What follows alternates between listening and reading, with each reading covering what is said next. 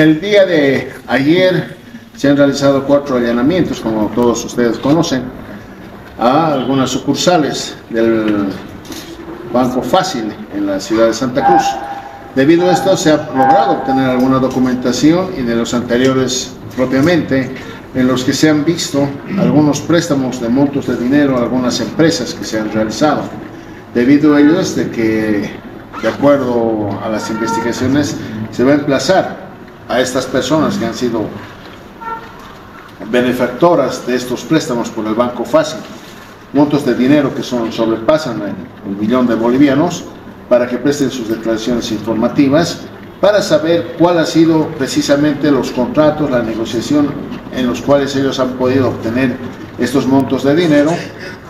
como beneficio y si estos han logrado eh, cancelar, devolver estos montos de dinero, toda vez de que tenían cláusulas que no pasaban más de los tres meses para, para su devolución y su cancelación en algunos casos. Debido a ello es de que la Fiscalía va a hacer su estrategia y nosotros vamos a colaborar con, con todo lo que viene a ser las investigaciones. ¿Coronel, se sujeta a algún delito? Eso va a ser una evaluación precisamente la, la, la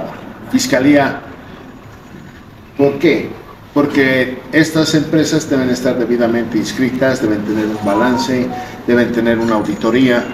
y todo lo correspondiente a cómo se lleva y se efectúa una empresa. Debido a ello de que si estas empresas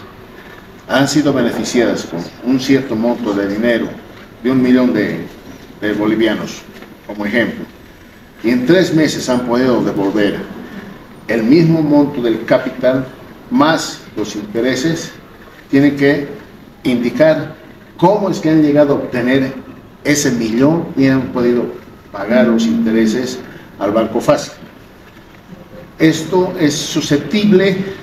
a que sea tal vez una legitimación de ganancias ilícitas, que no lo estamos diciendo, pero estamos presumiendo. Entonces, estas empresas que han sido beneficiarias